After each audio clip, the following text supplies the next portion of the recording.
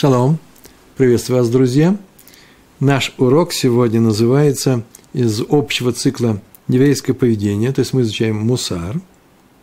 Наш урок сегодня называется «Если учишь Тору». Так написано. На самом деле у него есть продолжение у этого названия «Если учишь Тору, всем от этого хорошо». Хорошее название, да?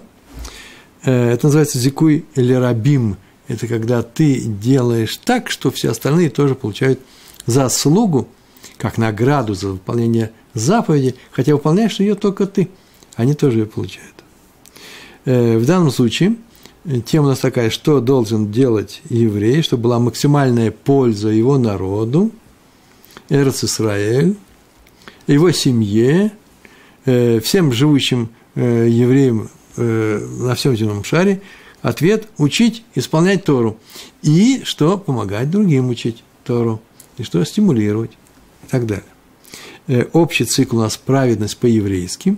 Вот это и есть праведное поведение, и поэтому, потому что это помощь другим людям, зикуй ле рабим, поэтому мы сегодня э, ведем 33 урок из цикла праведность по-еврейски, потому что праведности много, а еврейская она особая.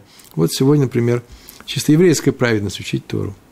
В книге Ваикра Бехукатай, недельный раздел Бехукатай, 26 глава, и мы уже говорили на эту тему, прямо на эту тему, опираясь именно на этот стих, который сейчас мы произнесем, говорили ровно четыре года назад. Здесь на уроках я не буду повторять тот урок, все заново, конечно же, потому что тот урок э, можно взять и посмотреть где? Посмотреть на э, сайте Толдот и Шурун. Глава Бехукатай, 26 глава, и там стихи 3, 4 и шестой. В общем, получается такая вещь, если убрать э, те слова, которые очень нужны, но сегодня они не в контексте нашей с вами беседы. Я читаю. «Если в согласии с моими законами пойдете и будете соблюдать мои заповеди, то будете жить уверенно». Там такое слово э, написано, которое переводится как надежно, защищенно, в безопасности, не будет у вас врагов. Будете жить уверенно – в своей стране, и дам мир стране, и не пройдет меч по вашей стране. Уверенно в своей стране, понятно, что мир. И тем не менее написано, и уверенно будете жить, и в достатке, и все у вас будет, все у вас будет в порядке. Я еще и дам мир стране. Может подумать, что без мира может быть э, уверенность и порядок. Но на самом деле э, и без мира это бывает в осажденной крепости, когда враг не настолько слаб, чтобы э, снять осаду, но не настолько силен, чтобы э, войти в город. Так или иначе, дам мир стране, и не пройдет меч по вашей стране. То есть дам мир стране. Так это же и называется не пройдет меч по вашей стране. Нет, нет, это не одно и то же. Почему? Потому что иногда меч проходит и по мирной стране, не дай бог, когда идет, например, какая-нибудь гражданская свара. Есть такие случаи в истории с некоторыми народами. Иногда это происходит не дай бог. Луалейну, не о нас будет сказано. Так или иначе, из этого стиха следует. Ой, мы сегодня вообще-то, это важный очень урок. Если вот можно подумать так, ну вот сейчас нам расскажут о том, что изучать Тору нужно, все хорошо и все. Можно зайтись от скуки, разойтись, уйти и больше ничего не делать. Нет, здесь есть такие вещи, которые не могут быть неинтересными человеку, который вернулся к Торе и ее начинает соблюдать или э, э, предполагает соблюдать, или уже давно соблюдает. Почему? Потому что это одна из основ нашей веры, нашей веры во Всевышнего. Потому что Он, взяв нас как свой народ, называется Сагула, как избранность, Он нас выбрал, Он почему-то э, сказал какие-то некоторые определенные условия, почему-то. Он почему-то выбрал нас, и мы взяли за эти условия, поэтому нас, наверное, выбрал, э, и э, реализуя эти условия, мы существуем. И вот э, учить Тору – это не просто так учить Тору. Можно учить Тору, можно учить химию заодно параллельно. На самом деле можно. Но нужно посмотреть, что такое учеба Торы, и чем же она хороша всем остальным, почему мне будет хорошо и так далее. Отсюда следует, что кто хочет по-настоящему помочь Эрцу Исраэль, нашей стране, Эрцу Исраэль, нашему народу – кто хочет защитить ее от врагов или, по крайней мере, сделать так, чтобы их врагов не было, хоть как-то, хоть косвенно на это повлиять. Кто хочет, чтобы в ней царил мир, покой и порядок, это три разные вещи совершенно.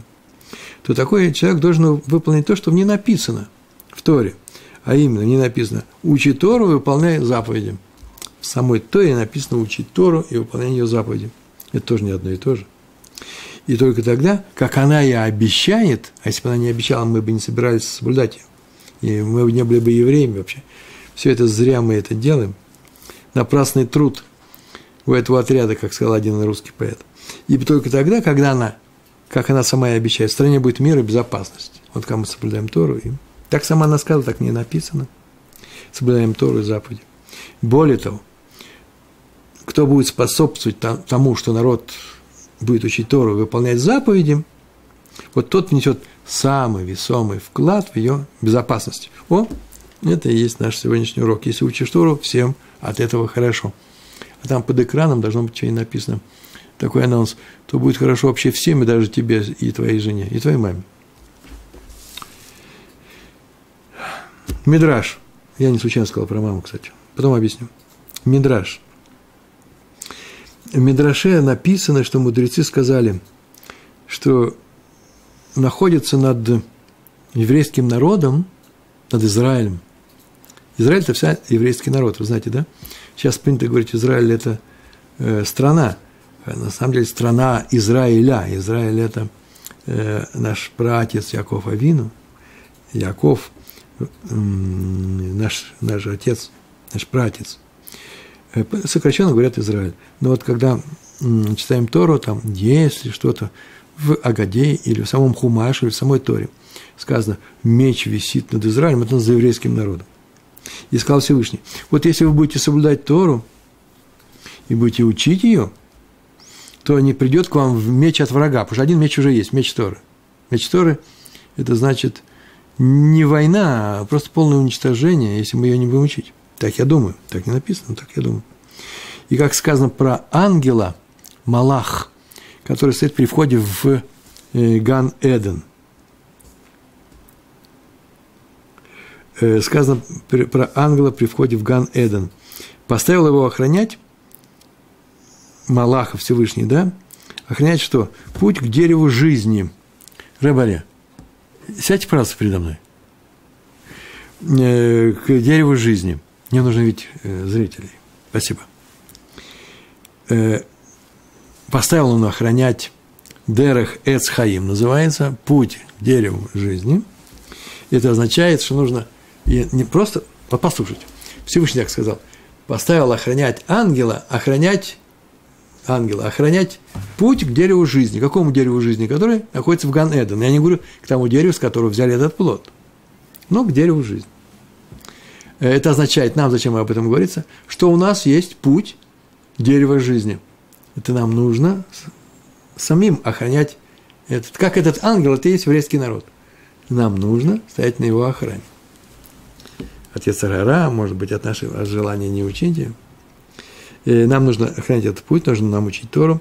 И путь, что такое путь? Само слово путь, дерах, всегда это дерах эрец. Что это такое? Нормальное человеческое поведение, которое включает в себя самую главную заповедь – люби ближнего своего, как самого себя. Это называется дерах эрец. Мораль, этика, еврейская. И сейчас очень говорят, что бывает דרך ארץ плохой. Ну, бывает плохая мораль. Но мы говорим, просто мораль, она вся со знаком плюс – דרך ארץ со знаком плюс. לשון הרע – это вещь вся плохая. Он говорит, а у него хорошая לשון הרע. Просто такое вообще название. דרך ארץ должен быть хорошим. לשון הרע должен быть плохой. Не бывает хороший לשון הרע. Не бывает плохой דרך ארץ. Нет דרך ארץ у него. דרך ארץ – значит э, способ его поведения, э, как он живет с людьми, как он общается с ними. Дерех Эрс, путь – это Дерех Эрс. Какой милосердный способ жизни. А живое дерево – это Тора – вот тогда и у нас все будет в порядке. Вот об этом сказали мудрецы. Мидраш Рабан, знаете, на недельный раздел Толдот. Там так написано, а Коль, Коль Яков, так написано в Торе, да? Пощупал.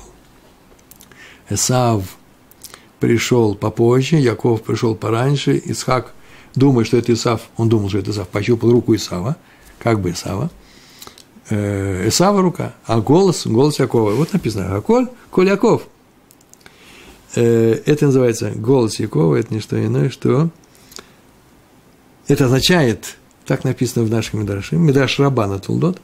Пока в Ешивах слышен голос учеников, которые учат Тору, учеников, которые изучают Тору, враги нас не одолеют. Вот о чем сказано здесь. Голос, голос Якова. И нет руки Исава. Нет другого средства защитить э, нас. Кстати, голос учеников в Ешиве, что такое голос? Сидят молча учат. Мы же приходили с вами в библиотеку институтскую, какую-нибудь большую, библиотеку Ленина в Москве. Там все все молча э, учатся. А, ну, а кто-то заговорит, к нему подойдет, смотрите, он скажет, смотрите, тишина, сейчас зарестуем вас. Там уже тихо. А у нас нет, нельзя тихо. Почему? Потому что голос учебы должен быть слышен. Когда вы учитесь в синагоге или в Ешиве, и тем более молитесь, надо произносить, произносить эти слова. Это важно. Малах слушает, Малах не смотрит. Малах – это ангел. Э, и что еще сказал Всевышний? Он еще такую фразу сказал, тоже Мидраш, в том же, если соблюдаете Тору, ничего вам не сделают ваши враги. Они ничего не могут сделать. Я не дам. Хотеть-то не хотят, я не дам. И еще, так уже сказано, прям впрямую, это Мидраш Раба на Кедушин, есть еще недельный раздел. Пока мои дети, что на Кедушин? На Кедушин. Пока мои дети заняты Торой, не властвует, власть не властвует над ними, над моими детьми, народы мира. А, да, умодала. И еще в Макот написано 10 глава, 1 стих. Знаете, я говорю, где, и прям даже рассказываю, где написано, где написано. Есть такие люди, такие противные люди, какие должны быть евреи. Они сейчас спрашивают, где ты это взял?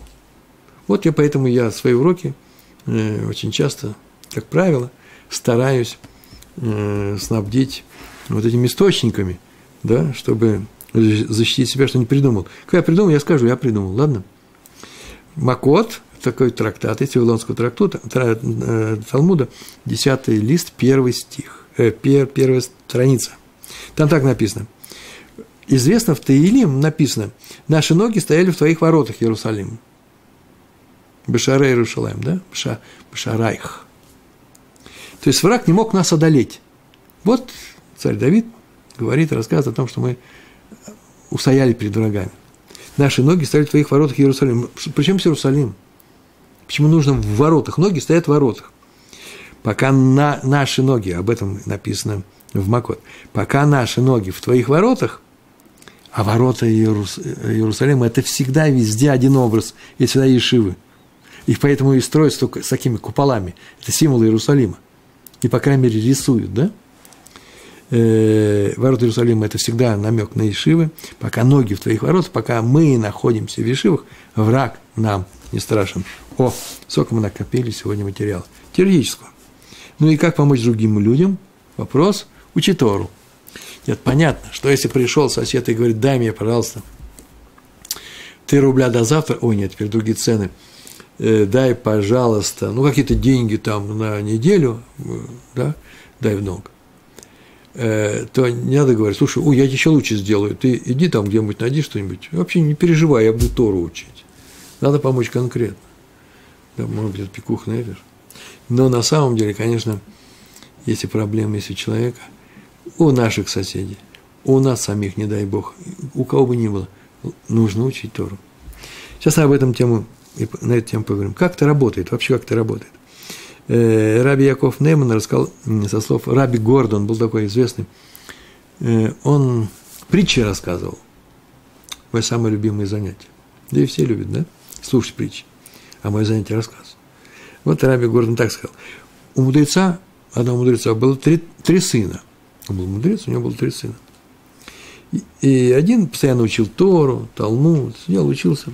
Был очень силен в учении. Талмит Хахам. Талмит Хохам, да? Второй сын был силен в молитве. Если он молился, то это была молитва. И долго молился, и сильно молился, и любил это. И видно, что на небе любили его молитву. А третий был богатым. Так получилось. И заболел у одного человека ребенок. Он заболел. И э, вообще-то написано э, смертельная болезнь.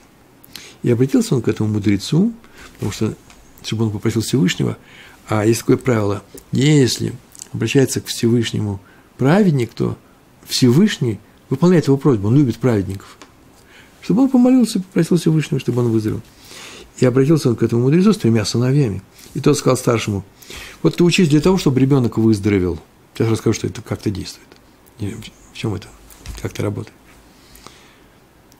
Второму он сказал, а ты молись за ребенка. Специальную молитву. А третьему сказал, чтобы дал за него сдаку. Непонятно, что этой семье, может быть, помочь нужно на врачей, на лекарства, на условия жизни. Ну, предположим, что все уже в порядке. Дать сдаку, и это поможет. Вы знаете, да? Сдака всегда спасает. Нас зап... э, уроки такие были. Сдака спасает от смерти. И ребенок выздоровел. И отец трех сыновей, автор книги Мехацита Шекель, вот про него эта история рассказывается. Есть такая книга известная, сборник. Комментарий. Сказал, он так сказал, выздоровел в заслугу учебы первого сына, не в заслугу молитвы. Молитва помогла, не в заслугу Задаки. Задака помогла, она спасает от смерти. И именно учебу первого сына. Почему? Помогали все трое. Но решающую лепту, так можно сказать по-русски, да? Решающая лепта э, была внесена первым сыном. Ибо от смерти спасает учение, молитва и дзака. Учение на первом месте. Мне однажды на уроке спросили, но мы же не говорим во время Йом-Кипура учеба молитва, зака и пост. Почему? Потому что говорят все, они все могут учиться. Поэтому мы должны учиться еще и за тех, кто не может учиться. По обстоятельствам, может быть, по какой-то по определенной причине. Это очень важно. Надо посвящать свою учебу в определенный день, например, надо, для чего-то. Так на уроках прямо говорится очень часто еврейских, да? Э, ученики пришли, один говорит человеку, кто-то заболел. Сейчас мы этот урок посвящаем что? Посвящаем такому-то больному, чтобы он выздоровел Рафашлама. Или в память об умершем, да, э, Илуина Шама. И тогда что? И это помогает. Или здоровому человеку, чтобы он остался, чтобы он выздоровел. Здоровому, э, живому. Или человек, попавшему в беду, например – ну или в память об умерших, Йорцит. Это очень важно. И объявляют в начале урока, прям так и говорят, для выздоровления такого-то, говорят его сына, э, говорят сына, говорят его имя, или мужское, или женское. Если нет еврейского, ничего страшного, говорят, какое есть. Хоть Богдан Хмельницкий, Хмельницкий – это не имя, Богдан. А, а, и э, э, сын или дочь такой-то, такого-то, если человек болеет, то значит по матери – если он умер, то можно и по отцу, э, по отцу еврею. А если у них нет еврейских имен, прям так назвать. Какое имя есть, такое и будет. Адольф, э, сын, э, умерший, да, Йорцайт, сын э, Адольф, сын Богдана. Ничего страшного, это еврейские имена –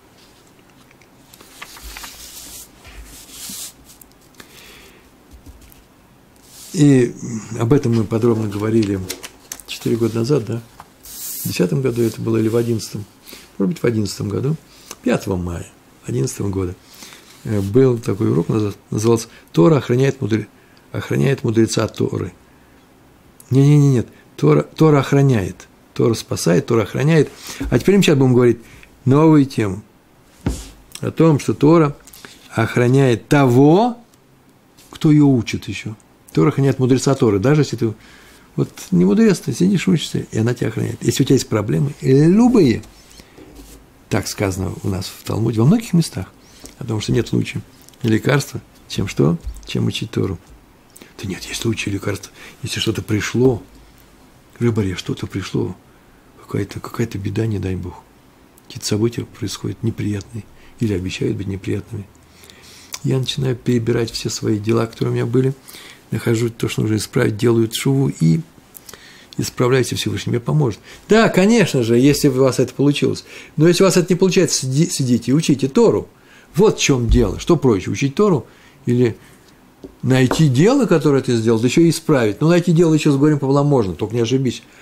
А исправить его, то есть быть именно таким человеком, который теперь уже, если будет новое испытание, уж точно я этого не сделаю, это необычайно тяжело если вообще возможно.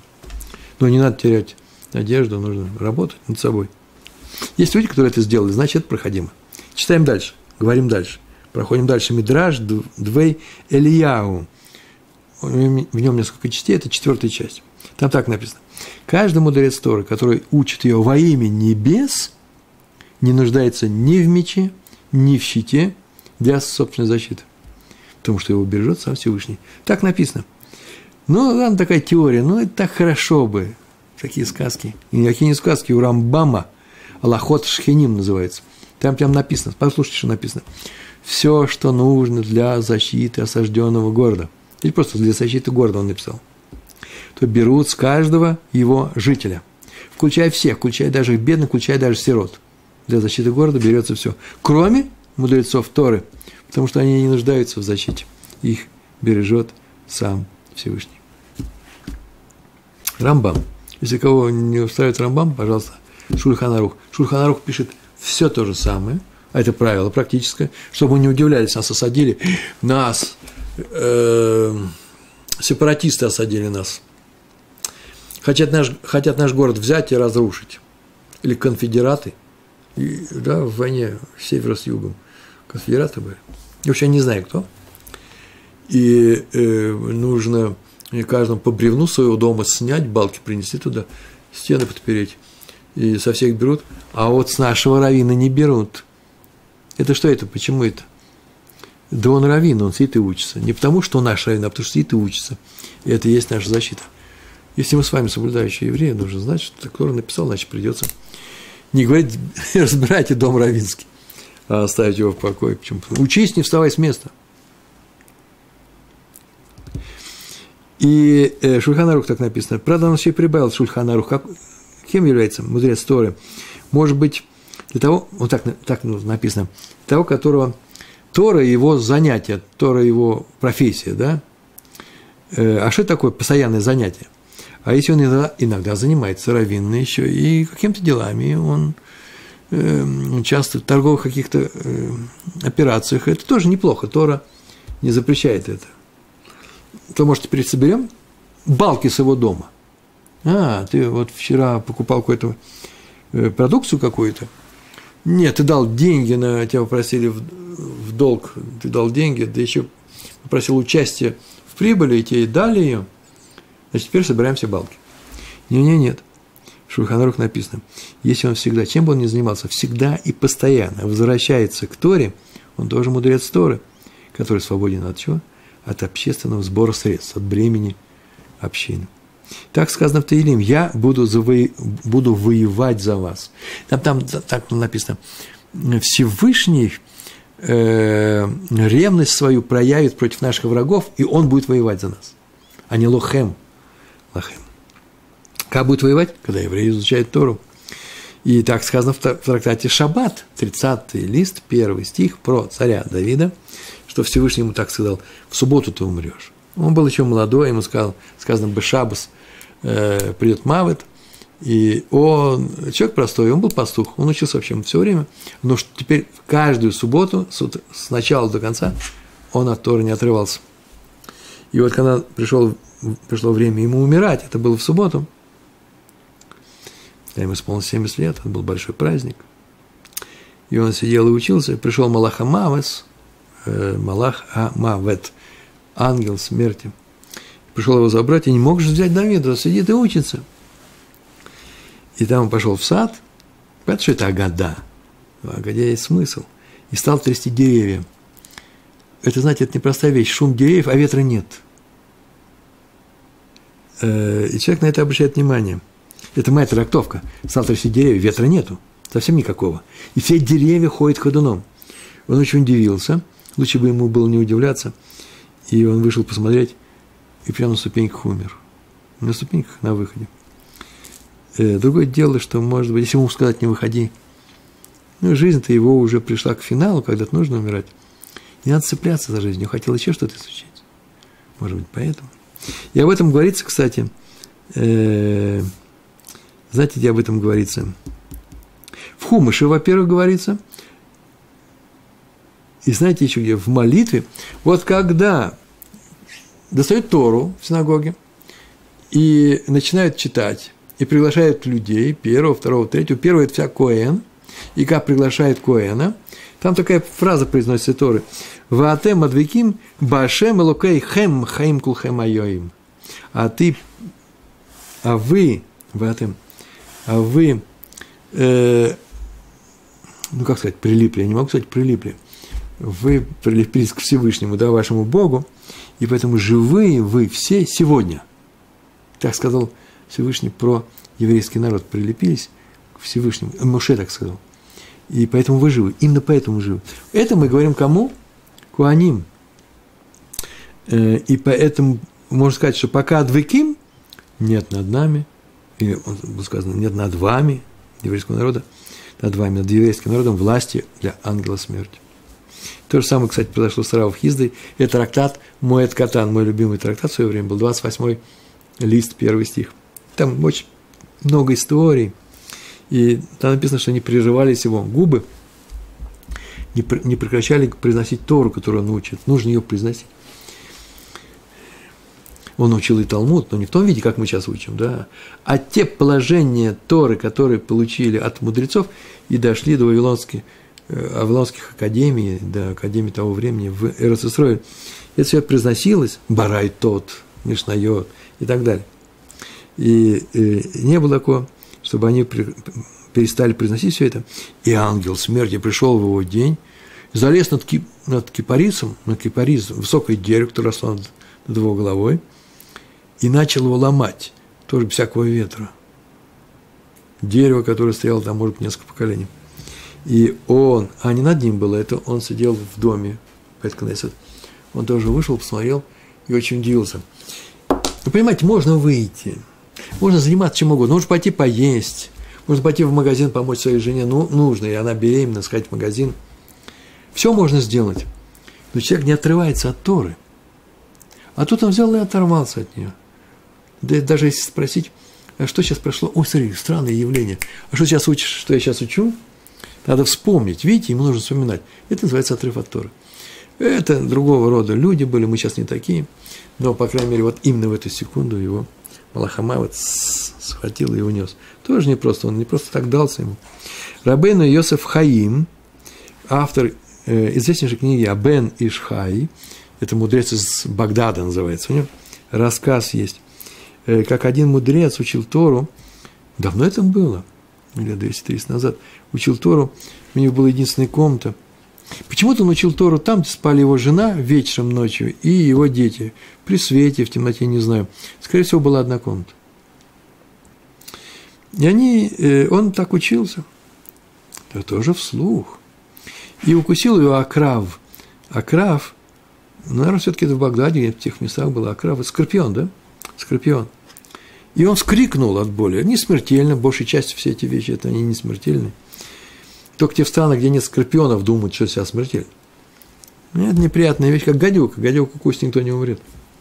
Но неприятно. И он закричал, он не сдержался. Проснулись все, жена спросила, что случилось. Он говорит, меня скорпион укусил. Он говорит, это опасно. Начали его искать со свечами, не нашли, вообще ничего не нашли. Жена говорит, спать здесь нельзя, у меня здесь дети, надо выйти э, на улицу – и э, будем там спать, в гамаках, в чем, я не знаю. Там тоже скорпион. Но это уж точно, пока он ведь, пока мы его оттуда не, доста, отсюда не достанем, он где-то здесь, здесь жить нельзя. Они все вышли. Они все вышли. Она его спрашивает, скажи, пожалуйста, вот ты же учишь Тору, почему тебя не спас твой урок Торы? Ведь сказано, в Мишле так сказано, когда ты спишь, спасет тебя. Бешов Теха. Так написано в Мишле на 6 э, глава, 22, смотрите стих. Пока, даже когда ты спишь, спасет тебя Тора. Но муж э, решил отвечать, и вдруг затрясает земля, землетрясение небольшое, но попадали какие-то предметы, здания. Это здание рухнуло. Они вышли, а это здание рухнуло. И он сказал, вот видишь, э, укус скорпиона это был укусом жизни, так он сказал. Поэтому спасла меня Тора и нас спасла.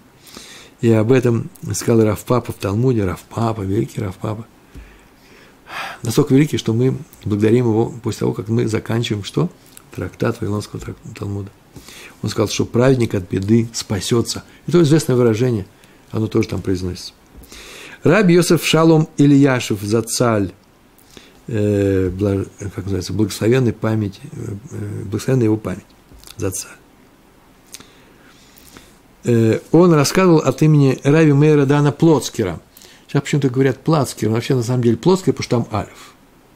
Если Алиф, то о, Плоцкер. А тот рассказал, так рассказал Раф Ильяш, потому что в книгах этого нету, об авторе Сват Эмет. То автор Сват Эмет, Адмор из, Гу, э, из Гуры или из Гур. Э, историю э, Адмор из Гур. Книга так называлась Сват Эмет. И поэтому он назывался Баль а Сват Эмет. Баль, автор этой книги. Это прям имя такое. Как Бааль А Хофицхайм. Это Хофицхайм, это его имя. Раби Иуда Ариель Лейб, так его звали. Бар Авраам, Авраам Мардыхай, уж заодно, заодно скажем, Альтер из города, из города Гур в Польше. Родился в 1847 году, умер в 1905. Прожил 58 лет. Крупнейший человек был. Пришел к нему один человек, прям к нему, к Адмору. Гурский хотит, и потребовал сгулу, дай сгулу. Сгула, это вы знаете, что такое, да? Что-то материальное или вообще хоть что-то, можно произнесенное, для того, чтобы что-то спастись, спасение от сала. Маганова сала. А что случилось? Больной у него в доме лежит, очень большой, такая болезнь непростая. И Адмор сказал, я вообще такие вещи не даю. Сгула, гурский хасид сгула. Раньше это было странно. Нет, и все. Делай что-нибудь другое. Тот сел на стул, сказал, я не уйду, Рэбе, я не встану и не уйду, пока мне дадите сгул. Он говорит, сейчас я подумаю, какую сгулу тебе дать. О, придумал. Ты человек взрослый, умный, иди и учись. Написано, будете мне сгула из всех народов. Так написано. Что такое? Будете мне сгула из всех народов. Что это означает? Будете мне избраны из всех народов. Это называется сгула. Ты же и хочешь сгула. Сгула – это то, что помогает. Два смысла в одного и того же слова, в одного термина. Э, сейчас это обязательно то, что помогает, спасает. А сгула на самом деле это особая вещь, драгоценная, дорогая, выбранная, как еврейский народ. И что, будете иметь сгула из всех народов? Когда сгула? Когда учите Тору. Поэтому учение Торы лучше сгула. И это автор всего этого был Адмор из Гур. Э, от себя такую фразу могу добавить. Не могу я не добавить никакой фразы. Можно молиться, читать Таилим, обязательно кому это здорово помогает и индивидуально человеку, и другому человеку, и в память кого-то. Мы как-то проходили на эту тему. И книгу у нас даже вышла. Вот, в частности, я ее переводил, Тагилим и э, с, из Гулот, все молитвы. Можно заказать ее в Талут э, Ешурун. Вот это вся помогает. Но сложно. Что значит вся помогает? Молитва и Таилим. Должна быть кавана. Это же тоже непростая вещь. Надо еще научиться молиться. То есть, если вы будете произносить, Таилим тоже помогает. На самом деле, чтобы уж совсем помогло, нужно очень глубоко. Этому нужно учиться, очень глубоко молиться, очень глубоко читать Таилим. А для учения Тора, мне, извините, это уже мой хедуш, не нужно никакой каваны. Сидишь, сидишь и учишься, не произносишь, а понимаешь, что ты учишь. Сиди и учись. Какая кавана? Кавана, чтобы учиться.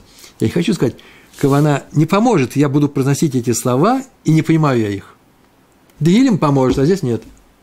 А почему? Да потому что это же проще понимать, что ты учишь. Но даже то, что сейчас рассказываешь, понятно? Если вы прочтете, это будет понятно. Так вот, хотя бы полчаса в день, час. Ну, немножко, ну, 8 часов. Ну, чуть-чуть поучитесь. Каждый день увидите, что здорово помогает. Так и рассказывал Раф Йосиф Шалом Ильяшев, ссылаясь на Рава Плоцкера. А тот сказал, вот что произошло у Асфада Имед. Поэтому нужно учить Талмуд. Мне в одной общине, которая взялась было помогать в деле организации, я уже как-то здесь рассказывал, перевода, э, издания перевода, э, там нужно делать равенские проверки, все это дорого стоит, Талмуда на русский язык. Они взялись, но ничего не получилось, ничего страшного в этом нет, ничего не получилось. Но смотрите, какое интересное объяснение я услышал на эту тему. Дело в том, что сейчас труд, трудные времена. Закрываются там какие-то карты в России, там, банки. Я не разбираюсь в этом ничем. Я не знаю, в чем дело. И вообще тяжело. И поэтому наша община сейчас испытывает трудности. Нормально. Могу помолиться. Поможем общине. И тут еще и Талмуд, а наша община не изучает Талмуд. Оп, тут я остановился. Как-то она не изучает Талмуд. Как-то община может не изучать Талмуд. Нет, есть люди, которые изучают. Нет, например, по вашим урокам, по урокам в Толдот и Шурон, по многим урокам. Но вот так вот э, специально община сама не организует эти уроки. Ой-ой-ой, говорю я, это совсем другая вещь. И есть два факта еврейской истории, европейской еврейской истории. Нет ни одной общины, которая спаслась, если, э, если в ней не изучали Талмуд. Нет ни одной общины. Если не изучает Талмуд, любая община исчезает. Я не хочу сказать про людей, а общины нет.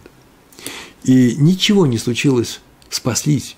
Всякое случается с людьми, и с трудностями. Община переживала трудности, но она спаслась, она осталась общиной, если в ней изучали Талмуд. Это очень важная вещь.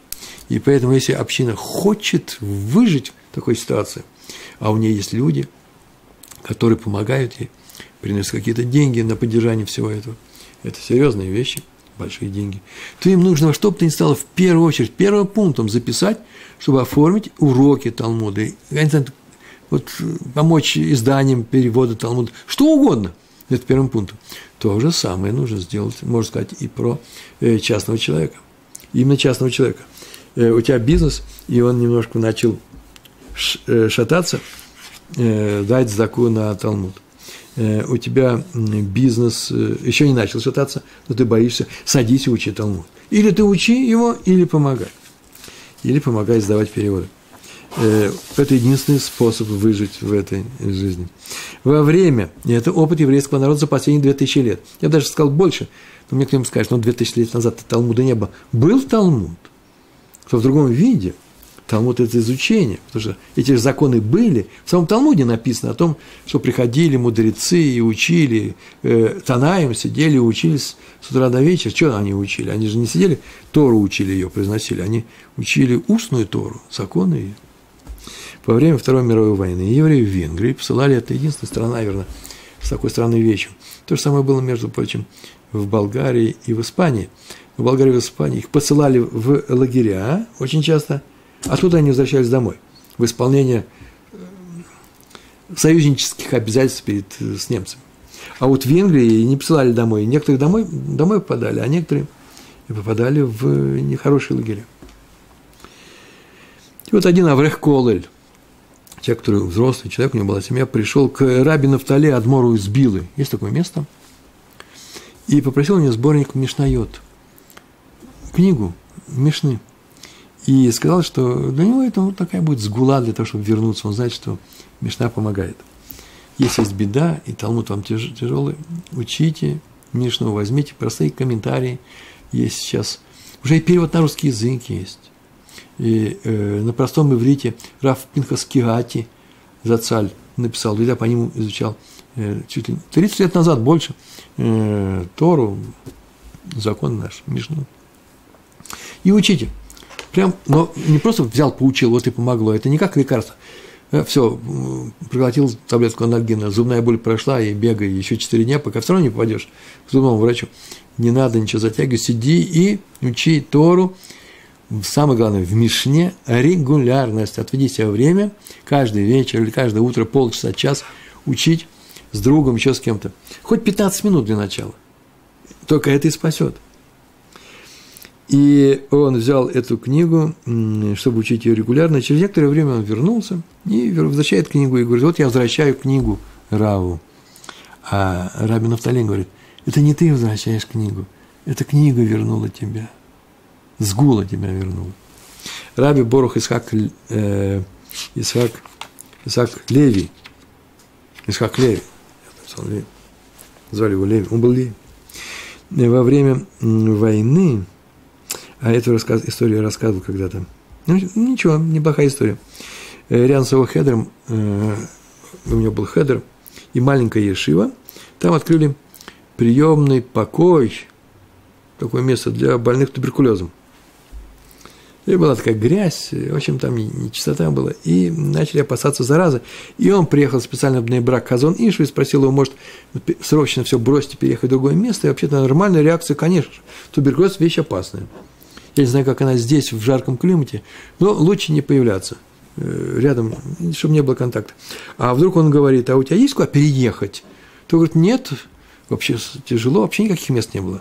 50-е годы, брак, новый брак. Он говорит, ну, поискать можно, в течение полгода уж поищем, ну, уж за год точно найдем. А что они будут делать полгода? Нет, сидите и учитесь. Но оставайтесь на месте, просто мойте улицу между вашими домами все время, каждый день, вода будет высыхать, э, домами. Смотрите за чистотой в помещениях, чтобы дети мыли руки перед уроком все время, постоянно. И главное, учебой вы одолеете эту опасность. Так он сказал. Да и поможете тем больным, которые рядом с вами находятся рядом с домом Торы быстрее выздоравливают больные. Вот о чем он сказал. Так и было, ни один из детей Хедера не заболел. А то, что там начали выздоравливать дети, уж я не могу сказать, что это из-за того, что учили Тору. Ну, я скажу, ну, поверите ли вы. На самом деле, я говорю, опасно очень. Если нет возможности переехать Тору, учите Тору. Учить Тору можно даже в каком-то, не в, ну, не знаю, там, э, в блокпосты. Я как-то попал в Астрахани, закрыли – холера там была, да, э, и были такие санитарные кордоны, я там должен был три дня провести, даже больше. Я их там провел. Я-то еще Тору не учил, в молодости своей путешествовал я. А надо было взять было Тору, сидишь, сидишь там и учишь Тору. Сказано, что это поможет. Рав Шах, пришел к нему один Аврех, который, который сделал в Венесуэле кололь. Мы сейчас связь там с мексиканским кололем. В Венесуэле кололь сделали еврейский. Там тоже евреи есть, учат. Им помогал один богатый человек. И вот в свое время, я даже не знаю, какие-то годы в Венесуэле вдруг пошли не то, не то что погромы, а какие-то эксцессы антисемитские. И пострадало несколько евреев. Вообще стало опасно, евреи перепугались. Тут же Алия подросла, понятно, в Израиле. Ну что теперь делать? Он пришел от Рава Шаха получить совет. Рав Шах, значит, 80-е годы. Начал. Потому что он беспокоится о Кололе, о жизни евреев, он не может их там оставить, может вообще закрыть все это, разбежаться по домам, закрыться или уехать в Израиль э, Равша сказал, беспокойся. Я говорю, я, я беспокоюсь. Он говорит, беспокойся, я беру на себя. Страх, все это на себя, я буду бояться вместо тебя. А ты возьми на себя устройство кололи, чтобы там смотрел за седером, за порядком в этом кололе, чтобы учеба продолжалась. Об этом написано в Бава Батра, восьмой лист, в самом начале, восьмой лист, первой страницы. Там так сказано. Сказано в книге Дворим, предпоследняя глава, 33, в книге Дворим 34 глава, это 33, там так написано. Аф, да? Да, любит он Амим народы, любит он колено израильские, и все святые в его руке. Всевышний любит еврейские народы, святые к душим написано, в его руке. И Муше сказал, Всевышний, когда ты их любишь, евреев, когда ты их любишь, ты им помогаешь. Защищаешь, называется, в его руке находится, да? Защищаешь в его руке. Никто ничего не может сделать, они в руке. Враги хотят, ничего не получится. Твоей руке это означает, когда они сидят и учатся на одном месте. Ну, да, в Израиле, например, там, в городах, в Израиле, в частности, не в Венесуэле. А когда мудрец идет, так написано в самой книге, из города в город, то ему помогает. В этом городе помогает. Ответ. Написано Баобата. Продолжение стиха читает. Там, там написано, да, он любит коленные все святые в его руке, поверглись к твоим ногам. Поверглись, ну, как он тук называется там, лежат у твоих ног, у, твоих, у твоей стопы. Раз идет Раглав, Регель, значит, идет дорога, значит, какая-то дорога. Значит, он помогает и тем, кто находится в пути. Езжай в Венесуэлу. Потому что сама Венесуэла – это уже в пути. Э, и Всевышний уже обещал, уже написал помощь тебе, твоим ученикам. Так оно и было. И что не значит, что идут погромы, мы должны в Хеврон броситься, там, там жуткие погромы. Знаете, что не знаем, закрыт, э, Ишива на могиле Йосефа – израильская армия, то они пускай это правильно делает, э, тут палестинцы э, тоже опасно очень, а мы сейчас будем прорываться ночью, будем мучиться. Не так это делается, потому что сказано, там, где есть определенная опасность, там, там что, то нельзя ходить, почему-нибудь подвергать свою жизнь опасность. Это заповедь, ты ее нарушаешь заповедь, тебя могут наказать. А как же вот здесь сказал Равшах, так Равшах это и сказал. Сказал это Равшах, праведник из праведников, талмудист из, из талмудистов – и тем самым он дал браху, и Всевышний ему поможет, вот тебе браха Равшах. А ночью идти без всякой брахи. Вот Равшах даст браху, идите э, через э, кордоны э, на могилу Иосифа. Лучше не ходить, лучше поговорить своим, своим раввином. Вторая тема сегодня – только изучение Торы, что может помочь и спасти еврея – не всякое изучение э, одинаково, изучение Тора, оно немножко отличается от остальных способов учебы, как в школе, в институте, в университете, есть несколько правил, специальные правила изучения Торы. Надо учить Тору для того, чтобы что? Лекаем называется, чтобы соблюдать ее, чтобы соблюдать эту заповедь, соблюдать саму Тору. И в этом у нас отличие Торы от всех остальных. Мы ее делаем, лекаем. Это заповедь, которую мы выполняем. Есть еще какие-то вещи, кто-то хочет получить э, равенское звание, пожалуйста, но он еще и должен при всем при этом учить ее, и весомая часть его обучения, Тору как таковую. Если хочешь заработать, можешь заработать другими вещами. Можно найти такой, такие способы. Вот в этом, кстати, между прочим, отличие нашего изучения от того изучения, которое было, что происходило у евреев в детстве, в молодости, в самом раннем возрасте, когда он был в животе у матери, когда он учил Тору в животе у матери. Там Лоли Каем, там не надо было ее для того, чтобы выполнять заповедь Торы. Это было изучение с ангелом, для того, чтобы потом, это помощь Всевышнего, для того, чтобы потом еврей изучает Тору, у него было такое ощущение, есть такое ощущение. А есть такое у тебя ощущение? Я верю в это, но я как-то еще не думал на эту тему. Как будто ты вспоминаешь все это. Где-то все это уже так хорошо ложится на места какие-то, там у тебя в голове укладывается, даже когда трудно и не укладывается, но ты чувствуешь, что это твое, что это так и должно быть. И когда ты наконец-таки понимаешь, в чем дело, о, я это прошел. Вот у многих есть такое ощущение, что это второй раз. Первый раз был в животе. Вот для этого с ангелом мы это изучаем. Так вот, э, учат Тору для того, чтобы что? Выполнить ее как заповедь. И сказано, а для того, кто учит Тору, не для того, чтобы соблюдать эту заповедь изучения Торы, вообще заповеди, которые в Торе написаны, лучше ему вообще не родиться. Называется «лучше ему не уходить из кишков матери». Так написано.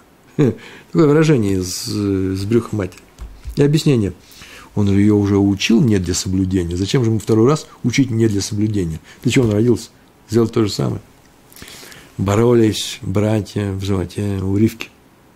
У Ривки и написано, она очень мучилась. Один хотел выйти, когда она проходила мимо Ешивы, Беткнесет, дома учения еврейского, а второй, когда проходили мимо идолопоклонского, там, идолов каких-то, а вода Зара называется, капища какого-то. Э, почему первый хотел выйти из э, у Ешивы? Ведь он же учится с ангелом в это время в животе. Есть множество ответов. Э, один из них сегодняшний. Какой? Да потому что он знал, что с ангелом это никакая не учеба. Он хотел по-настоящему ее учить. Поэтому хотел выйти. Да? Такой ответ. Сегодня я прочитал. Рабин Исефхайм из Багдада. Человек из Багдада, мудрец из Багдада, пишет, Тора спасает, защищает только того, и только у того, защищает других кого, э, когда молится за них или учится, только того, кто упорен в изучении Торы, учит ее постоянно с удовольствием, отвлекаясь с отвлекаясь нежеланием, но не желает он отвлекаться. Сейчас мне придет кто-то скажет, а я, например, заставляю себя, что теперь Рафром, если я не с удовольствием учусь, мне теперь не учить ее. То нет же, вы увидите, рано или поздно получите подарок и будете, что с удовольствием учить тоже. И, правда, Раби, э, Рабейн Йосеф Хайм еще такую фразу добавил. Тот ее учит, и хидуш, хидушим составляет.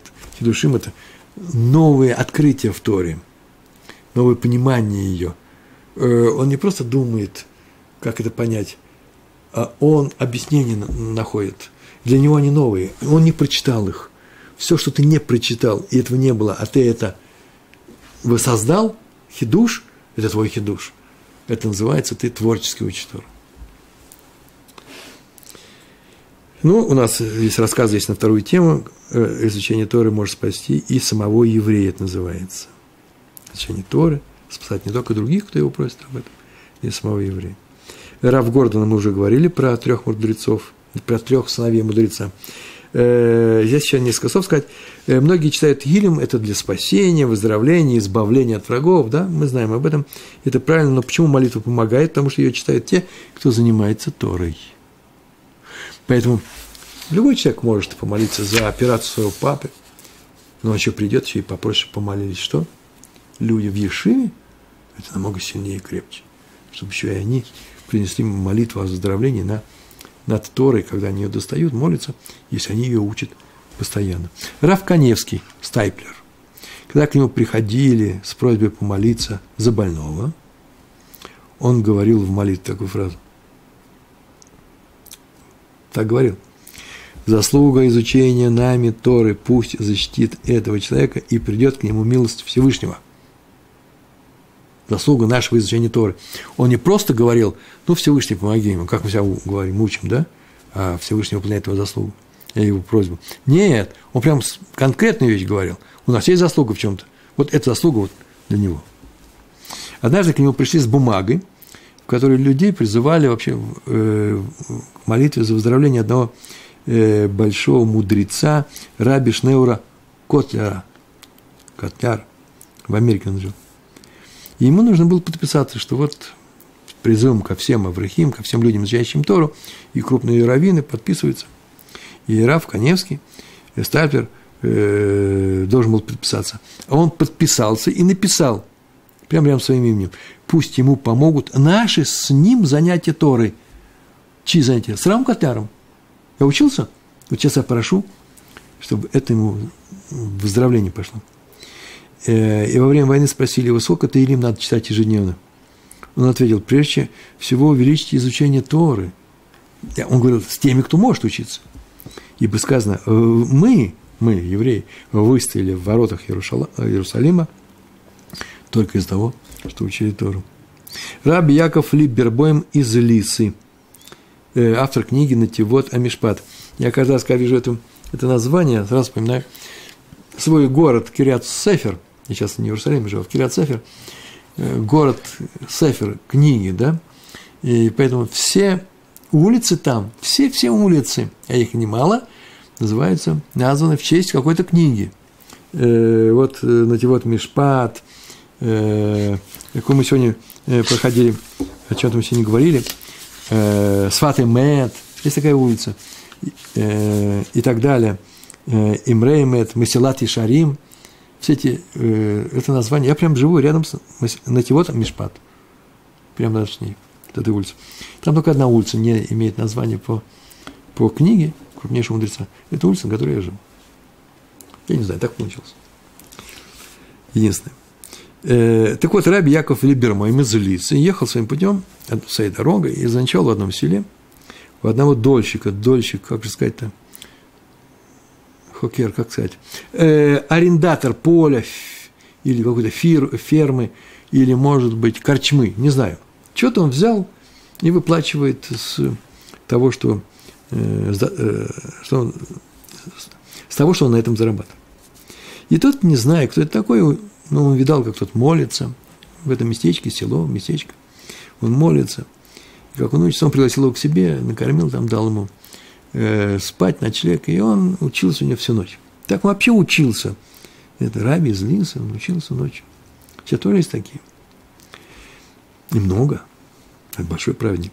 И утром, когда Раф собрался уже уезжать, он обратился к нему с просьбой, чтобы он помог в выздоровлении его сына, который болеет. В одной из комнат он лежит, он болеет. Он видит, что это большой праведник и ученый большой. И Раф сказал, что он вообще-то не мастер на чудеса. Называется, что он сказал, что он э, не бальнес. А еще, знаете, как говорят, по Эльешуот. По Эльешуот тот, который делает спасение. Он не большой мастер, за ним это не водится. Но пусть его сын поправится в заслугу тех нескольких листов Талмуда, которые он выучил у него за эту ночь в доме. Вся заслуга идет на это. И со временем, ну, Раф уехал, со временем он выздоровел. И тот еврей узнал, что кто приезжал в их село, узнал местечко, и поехал в Лису, в Лису, где он там был в это время, к этому Раву просить прощения за то, что не встретил его с подобающим почетом, а встретил его как простого еврея. Раф обнял его и сказал, что э, принял он с большим почетом, с большим, чем ему требуется, почему он дал ему учиться. Не, вся, не, не всегда это бывает. Ну и еще несколько у нас есть вещей, которые хотелось бы нам сегодня э, рассказать. У нас осталось ровно 5 минут, я даже сказал 6. Про э, то, что нужно организовывать занятия Талмудом. Это еврейское поведение. И какой у нас сегодня цикл? Э, праведность по-еврейски – это праведное еврейское поведение. Учить Тору и организовывать Э, изучения Торы. Отсюда задача раввинов, руководителей Ешив, чтобы больше евреев учились.